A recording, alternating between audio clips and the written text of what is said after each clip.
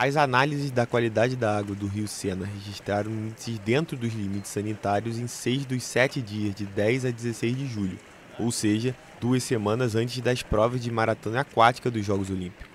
Apesar da melhora da qualidade da água do Sena nas últimas semanas, o suspense se mantém sobre a realização das provas aquáticas programadas para os Jogos, que depende do nível da contaminação bacteriológica da água. Além do desfile de cerimônia de abertura, em 26 de julho, estão previstas para o Sena as provas de triatlo, maratona aquática e paratriatlo.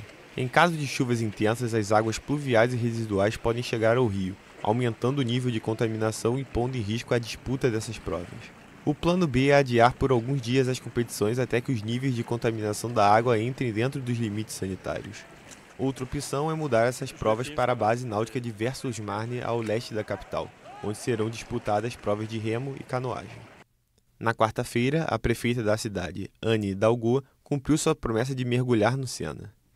Nos últimos dias, o tempo favorável está causando uma queda na vazão do rio, o que contribui positivamente com a qualidade da água.